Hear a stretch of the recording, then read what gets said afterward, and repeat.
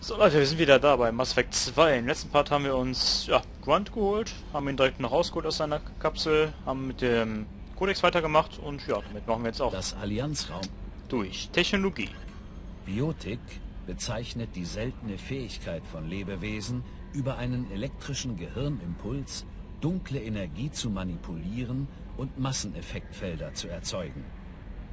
Biotiker benötigen intensives Training und chirurgisch implantierte Verstärker, um praktisch nutzbare Masseneffektfelder zu erzeugen. Die relative Stärke der biotischen Fähigkeiten ist bei den Völkern und Individuen sehr unterschiedlich.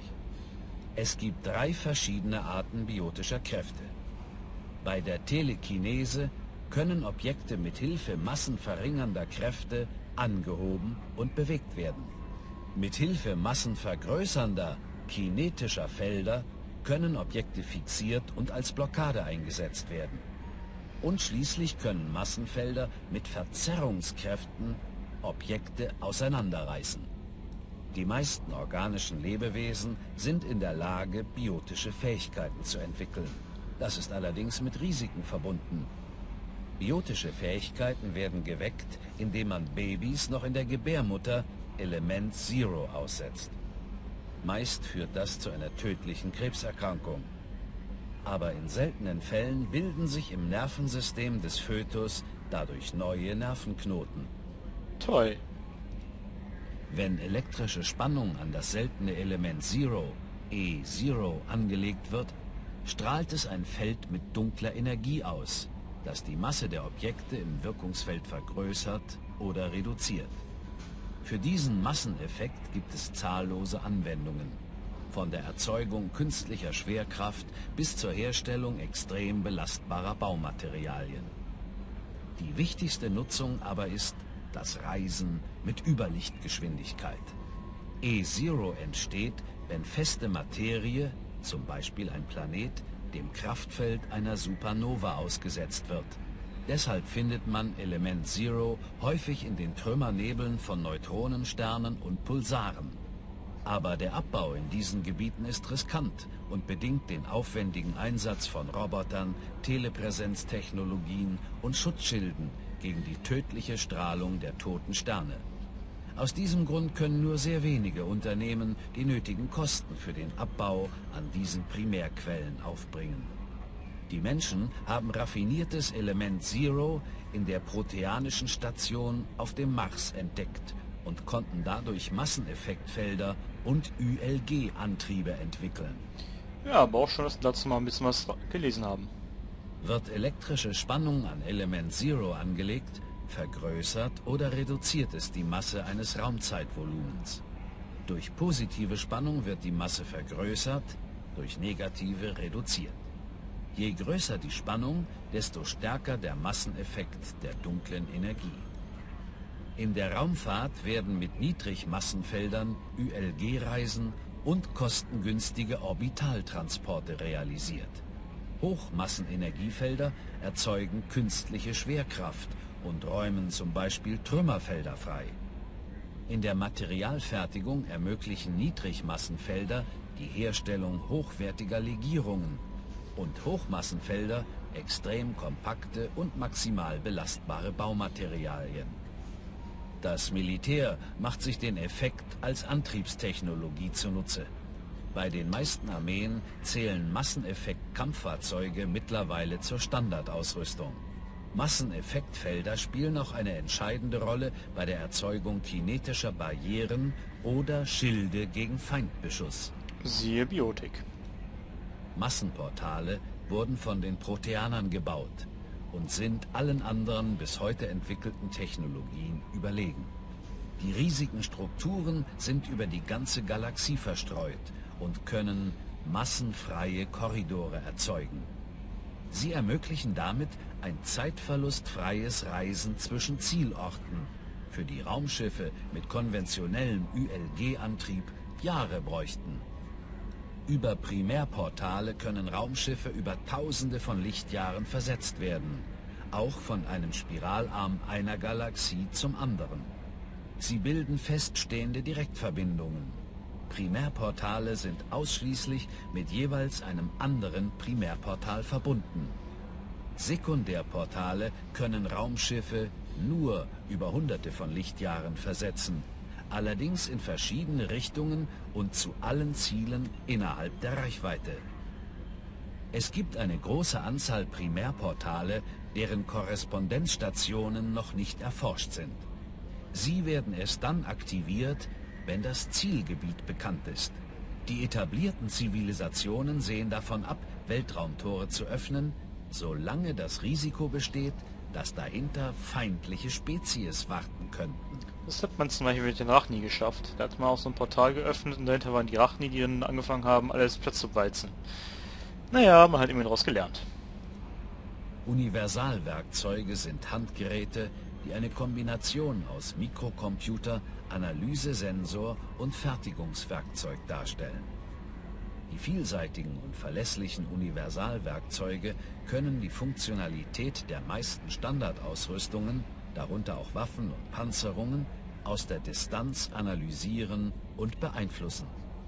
Mit dem Fabrikationsmodul lassen sich zum Beispiel dreidimensionale Objekte aus gewöhnlichem Plastik, Keramik oder Leichtmetallresten anfertigen. So können mitten im Kampfgeschehen Reparaturen und Modifikationen fast aller Standardgegenstände vorgenommen und aufgesammelte Ausrüstung neu verwendet werden. Universalwerkzeuge zählen bei Soldaten und Koloniepionieren zur Standardausrüstung. Mhm. Kommen wir zum letzten Punkt. Medigel ist eine medizinische Heilsalbe, die von Ärzten, Rettungssanitätern und vom Militär eingesetzt wird. Es ist Lokalanästhetikum, Desinfektionsmittel und Blutgerinnungsmittel in einem und daher vielseitig anwendbar. Nach dem Auftragen haftet das Gel so lange fest auf der betroffenen Stelle, bis es durch Ultraschall gelöst wird.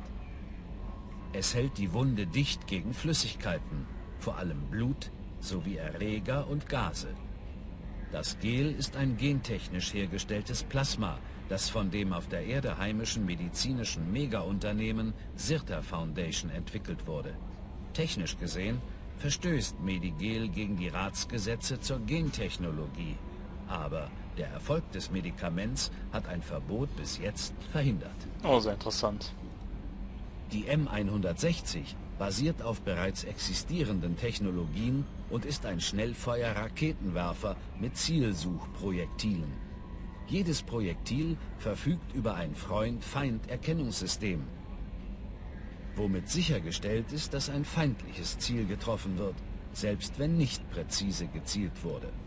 Die Waffe ist bestens geeignet, um in Städten Scharfschützen und verschanzte Gegner auszuschalten. Deshalb ist sie auch bei Söldnern besonders beliebt, vor allem bei den Blue Suns. Raketenwerfer tauchen in den Terminus-Systemen immer häufiger auf, aber niemand weiß genau, wo sie hergestellt werden. Und wegen der Herstellungsrechte Management-Technologie, HRM, sind sie legal auch nur schwer nachzubauen. Tja. Sehr schön, damit sind wir mit den Primären soweit komplett durch. Jetzt haben wir noch die sekundären vor uns. Ähm, sind so einige, weil es so einiges gibt, was halt, ähm, ja, weil ein bisschen was über Kasumi geredet wird, über die DLCs und so weiter. Und die werden wir jetzt nach und nach auch anhauen. Erstmal nicht mehr. Aber vielleicht zum nächsten Part. Mal sehen. Und die Frage ist eher so, was machen wir jetzt? Wir können so nettes Teammitglied rekrutieren, das will ich aber ehrlich gesagt noch nicht wirklich, weil wenn ich das mache, kommt glaube ich der Unbekannte angeschissen zu mir will mir die nächste Zwangsmission aufhängen. Und die will ich eigentlich noch ein bisschen schieben.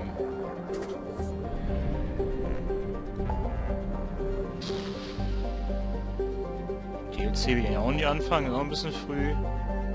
Wir helfen Kasumi, warum nicht? Ist ein bisschen schwer die Mission. Aber scheiß doch drauf. Wir machen es doch gerne, abgesehen von welchen Sektor dann auch untersuchen. Bolzmann, Alter. Der Holzmann, der Bolz wieder. Nicht witzig.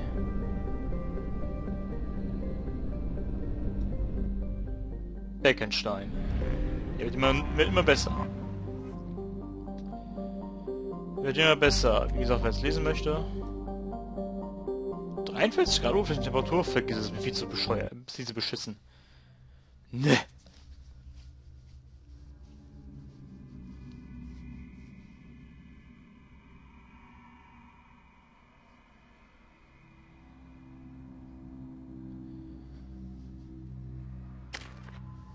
Aber ja, wie gesagt, wir können ja eh nur Kasumi mitnehmen. Insofern geben wir ihnen noch einen Punkt auf die Meisterdiebin. Und wir haben eh nichts frei. Schade, ich hätte gerne noch eines auf KI-Hacken gepasst.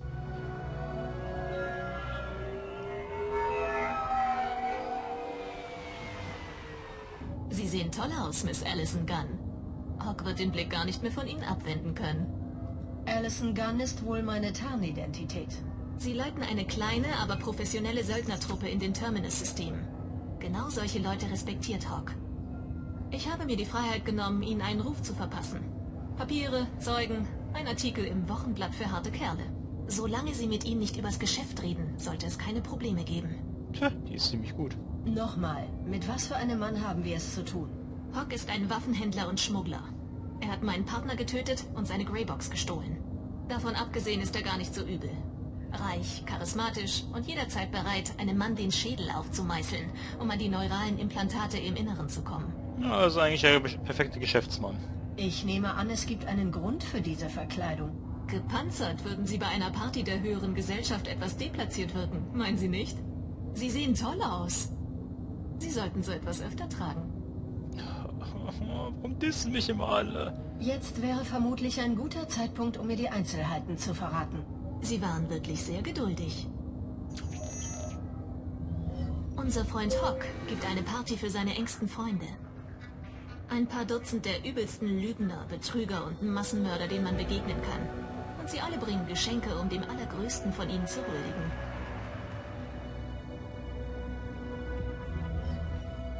Unser Tribut ist eine entzückende Statue ihres alten Freundes Saren, mit liebevollen Details und voller Waffen und Panzerung bis unter den Rand. Sie können ihre Pistole behalten, solange sie sie verstecken. Wegen sowas machen die keinen Ärger. Wenn wir drin sind, geht's zur Tür zu Hocks Tresorraum, irgendwo hinter dem Ballsaal. Dann ermitteln wir die Sicherheitsmaßnahmen und schalten sie der Reihe nach aus. Die Statue wird auch da sein und darauf warten, dass sie sie öffnen und sich ausrüsten. Dann geht's bei einem Walzer in den Tresorraum und wir holen KG's Greybox zurück. Und ich bekomme endlich Gelegenheit, mich zu verabschieden. Sie haben hart an dieser Sache gearbeitet. KG muss Ihnen viel bedeutet haben. Ist das so offensichtlich? KG's Greybox enthält viele unbezahlbare, persönliche Erinnerungen. Sie ist alles, was von ihm geblieben ist. Aber das Geheimnis, das er entdeckt hat, ist gefährlich. Wenn es nicht so wäre, hätte ich sie nicht hergebracht. Was ist in der Greybox, das den ganzen Aufwand rechtfertigt? Die Greybox enthält Keijis Erinnerung. Alles, von den Codes und Plänen, die er gestohlen hat, bis hin zu unserer gemeinsamen Zeit. In den Erinnerungen verbirgt sich das Geheimnis, das er gestohlen hat. Keiji hat mir nie gesagt, worum es sich dabei handelt. Aber wegen dieser Information wurde er umgebracht. Ich frage mich gerade selber, BioWare, musste wirklich die Kamerafahrt so zentriert auf Shepards Brüste sein? Eieiei. Das dürfte interessant werden. So ist es gedacht.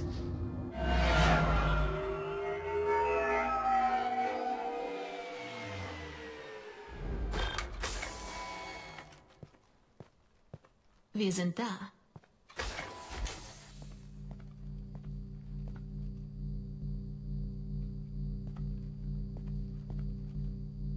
Nach Ihnen, Miss Gunn.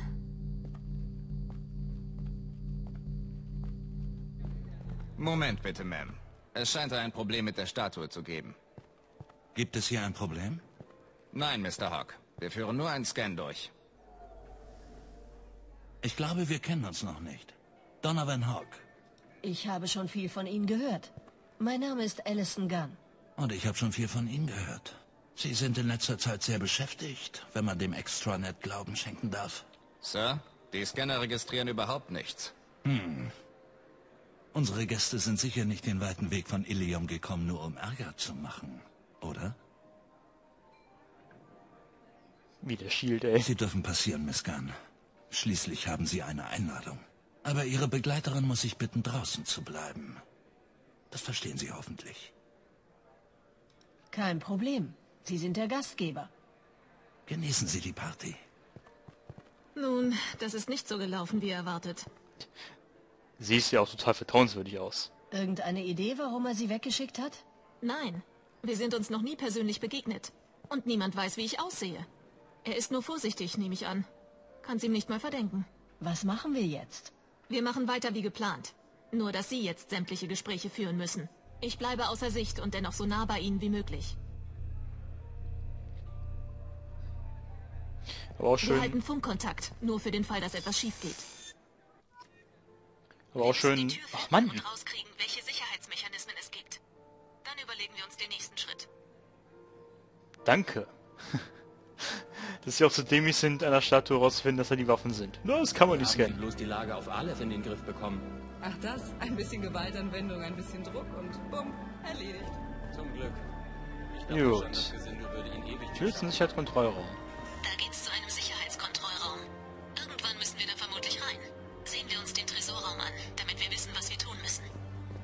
okay. Zum Glück weiß ich ja, wo der ist. Der ist hm, leicht versteckt. Äh, Was halten einer, Sie genau. von diesem Archangel? Oh, Ich habe gehört, dass er tot ist oder verschwunden oder so. Ein Glück kann ich nur sagen. tss. Pimp, ey. Fällt ja gar nicht auf, wenn ich hier runtergehe, ne? Sehr hübsch. Hier drin ist mehr, als ich erwartet hatte.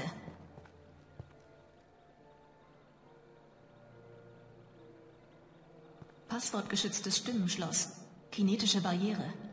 DNS-Scanner. Vermutlich aus der EX700-Reihe. Alles, was ein Tresorraum braucht, um unbezwingbar zu sein. Haben wir jetzt ein Problem? Ich bitte Sie. Haben Sie vergessen, wen Sie vor sich haben? Für das Stimmschloss brauchen wir eine Stimmprobe. Dazu müssen Sie mit Hawk ein Schwätzchen halten. Und das Passwort müssen wir auch beschaffen.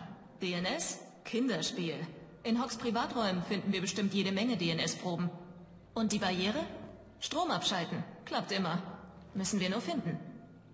KG würde mit so einem System im Schlaf fertig. Und ich bin noch besser. An die Arbeit. Fällt schon nicht auf, wenn die schon mal einfach so abdrehen. Sieh mal einer an. Sieht aus, als würde das Stromkabel der Barriere hier unter dem Boden verlaufen. Ich stelle Ihr Universalwerkzeug so ein, dass es auf elektromagnetische Felder scannt. Ja, verlegt sowas der auch im, äh, auf dem Boden. Also im Boden oder an der Decke oder an der Wand oder sowas. Okay, wir sehen. Wer verlegt so eine Scheiße? Durch den Bilderrahmen, ey, ist klar. Ja, mit Hock müssen wir auch noch quatschen, haben wir gleich.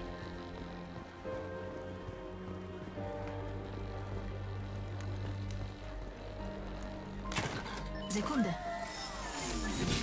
Äh, Damit müsste die Barriere erledigt sein. Ja, Kasumi, das hat die Asari auch gar nicht gesehen, ne? Ja, die Mission ist ein bisschen vom, ich sag mal, von der Mühe her nicht ganz so gut. Obwohl die Idee sehr gut ist, wie ich immer ich zugeben. Ähm, ja komm, quatsch mit ihm. Da ist er. Sie müssen nur dafür sorgen, dass er lange genug redet, damit ich eine Stimmprobe nehmen kann. Lassen Sie Ihren ganzen Charme spielen, Chip. Wenn Sie soweit sind, geht's los. Wundervoll.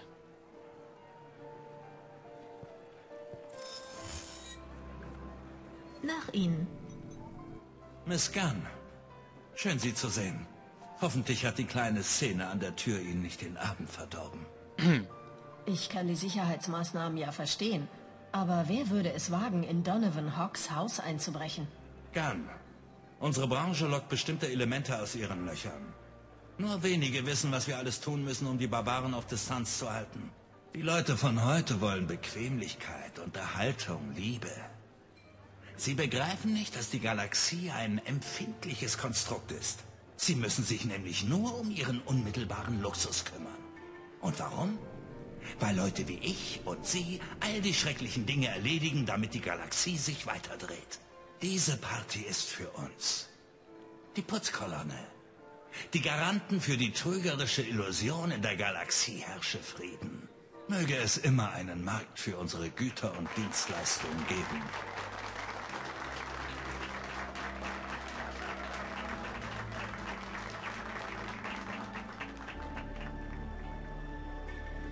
Jetzt haben Sie ihn aber wirklich zum Reden gebracht. Wir haben genug für eine Stimmprobe. Lassen Sie ihn gehen. Genießen Sie die Party, Miss Gunn. Sobald wir das Passwort haben, kommen Das war mal mega einfach, ey. er hat doch jetzt von alleine gequatscht. Na ja, gut, manche Probleme lassen sich halt noch einfach lösen. Ach du Scheiße. Äh, hi.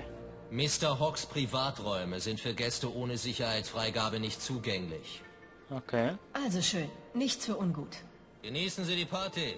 Privaträume. Da müssen wir rein. Dort ist die Chance am größten, DNS von Hawk zu finden. Mhm. Ah, wie war es nochmal? Lassen Sie mich die Tür zum Sicherheitskontrollraum für Sie öffnen. Erledigt. Fällt bestimmt nicht auf, dass ein Gast hier reingeht. Wie kriegt man das hier eigentlich hin? Ja, okay, man setzt einfach ein Glas noch davor. Bin bereit, wenn Sie es sind. Jetzt kommst du jetzt kürzer raus, ne? Dann wollen wir mal die zweite Tür alleine hacken.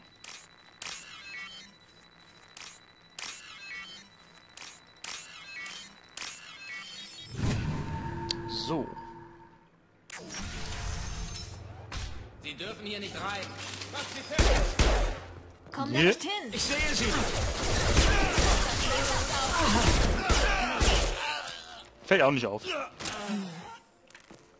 Ich habe eine Idee. Sehen Sie mal nach, ob Sie was finden. Ich finde Wand safe. Hör auf zu reporten, Kasumi, das habe ich genau gesehen. Äh, Nance? Ich habe dasselbe Problem. Hier gibt es viel zu viele Passwörter, da kennen sich keiner mehr aus. Passwort für heute Abend lautet Perugia. Uh. Und das ist nicht mal leicht zu merken. Doch.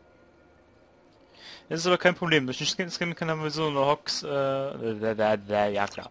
Haben Sie was? Das Passwort lautet Perugia. So hieß der Mann, der die Mona Lisa gestohlen hat. Hübsch. Ich habe Ihre Funkanlage angezapft. Das können wir vielleicht noch brauchen. Und jetzt nehme ich Hocks Stimmprobe und... Geschafft. Jetzt können wir den Stimmscanner austricksen. Haben die echt einen Comic da gerade gesehen? Gott. Okay. Müssen wir nur noch seine DNS äh, bekommen, beziehungsweise, ja, DNS. Wie haben wir Man sagt, das? Commander Shepard sei noch am Leben. Wirklich.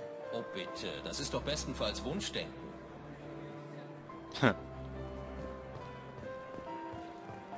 Wie kamen wir, äh, ich, weiß jetzt, wie kamen wir, ich weiß, wie man da mal reinkam, aber ich frage mich sehr, wie man dahinter kam, wenn man dahin kommt. Eigentlich will ich jetzt nicht die Fail-Variante nehmen, weil es ist irgendwie dämlich. Da ist ein Darkpad, das ich mir einfach so klauen kann. Wir können uns während der Party unmöglich reinschleichen. Alles ist hiermit abgeriegelt. Die Sicherheitschefin Rowe ist im Dienst. Sie würde niemals, äh, was? Sie würde das niemals zulassen. Okay. Chief Rowe, huh? Die scheint ziemlich hart zu sein. Hm. Ich habe eine Idee. Mr. Hawks Tresorraum soll ja ganz exquisit sein. Wer sagt das? Er lässt doch keinen auch nur in die Nähe. Ja, fällt auch gar nicht auf. Ich wusste gar nicht, dass ich das so machen kann. Aber ich habe es damals so gemacht, ich mache es noch einmal so. Ganz lame. Mr. Hawks Privaträume sind für Gäste ohne Sicherheitsfreigabe nicht zugänglich. Ich habe eine Freigabe und darf hinein. Mit wessen Genehmigung? Ich habe die Genehmigung von Chief Rowe. Okay, eine Sekunde. Chief Rowe, Samuels, haben Sie eine Zutrittsgenehmigung für Mr. Hawks Privaträume erteilt? Sie dürfen rein, Samuels, und belästigen Sie mich nicht mehr. Verstanden. Entschuldigen Sie die Störung, Ma'am. Okay, Sie können reingehen. Genießen Sie die Party. Mhm. Auch ein bisschen lame, aber okay. Hätten wir uns auch reinschleichen können? Ja, von hier aus, ne? Ungefähr. Warum sind da drei Soldaten? Achso, die hätte ich dann quasi platt machen müssen, um hier reinzukommen. Das ist sehr interessant. Okay. Wusste gar nicht, dass es auch geht. Beim letzten Mal nicht gefunden. Ja, dann mal ab in seine Privatgemächer. Wird bestimmt lustig Suchen Sie sein. nach allem, wo sich verwertbare DNS befinden könnte. Aber bitte schnell und leise. Ich wollte gerade sagen, wird witzig sein, wenn er kurz in die Ecke kütt. Oder seine Frau hier irgendwo sitzt, wenn da irgendwas ist. Wo was sein könnte. Äh, auf der Couch. Aha. Was gefunden? Nein, nur ein Credit. Ja, ein Credit. das ist nämlich gerade am WoW. Keine Haare, keine Hautschuppen. Die Putzfrau muss wohl ziemlich gründlich sein. Wundervolle Idee. Pflanze, wir da wohl kaum geguckt haben. Papiere. Hm. Keine DNS, aber... Hock hat anscheinend versucht, Cageys Greybox zu knacken. Offenbar übersieht er irgendwas. Bisher hat er die Verschlüsselung noch nicht geknackt. Immerhin etwas. Datenpad? Äh... Okay. Wahrscheinlich finden wir Hocks DNS auf seinem Datenpad. Er scheint davon geradezu besessen zu sein. Aber ich bin nicht sicher, ob das ausreicht. Suchen wir weiter. Holographisches Terminal. Hier ist nichts zu finden. Hätte ja sein können. Oh, Sammlung antiker Waffen. Die Putzkräfte wagen es nicht, solche Schätze zu berühren. In dem Staub finden wir bestimmt Hautzellen. Möglicherweise sind sie kontaminiert. Wir sollten eine weitere Probe suchen. Hm. Safe.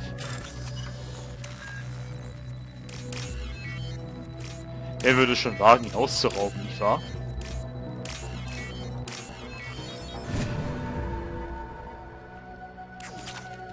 Aber ich mir die Musik ziemlich gefällt. Aschenbecher, ich weiß ja nicht. Oh, ein Weinglas. Keine besonders tolle Speichelprobe, aber dennoch verwertbar. Das müsste ausreichen. Nichts wie raus hier.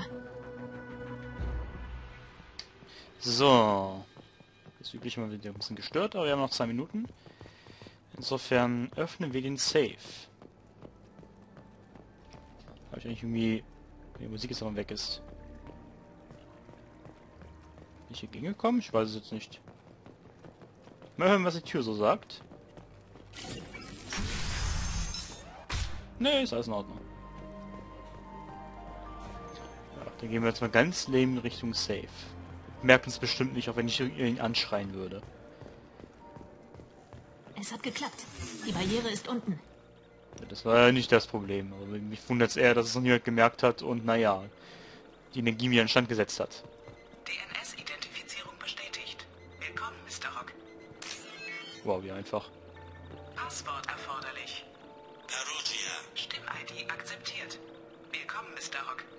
Wow, wie billig. Muss man jetzt ja vorstellen, man hat es quasi aus den einzelnen Buchstaben, es so in den Wörtern gesprochen hat, zusammengefixt. Das hat gereicht. Schwach, Alter. Ich kümmere mich um die Überwachungskameras. Gehen Sie vor und ziehen Sie sich an.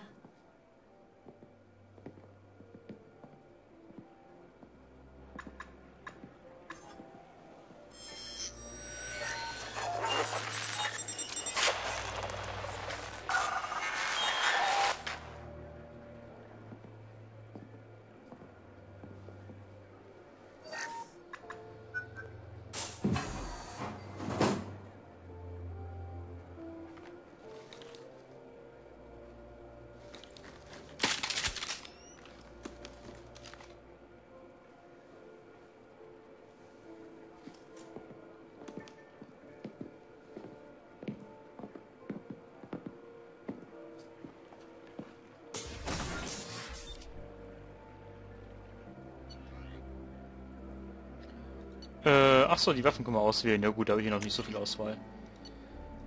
Äh, theoretisch haben wir Granatwerfer, aber es passt schon soweit.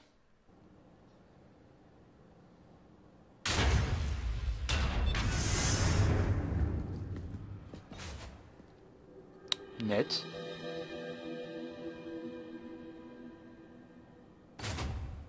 Das ist also Hocks Tresorraum. Sehr hübsch. Dieser Scanner spürt die Greybox auf. Sie ist ganz in der Nähe. Aber das machen wir beim nächsten Part, würde ich sagen. Denn wir haben jetzt mal genug gemacht. Ähm, ja, ja, nächster Part machen wir den Scheiß hier und mal gucken, welchen Scheiß wir noch machen. Bis dahin, tschüss.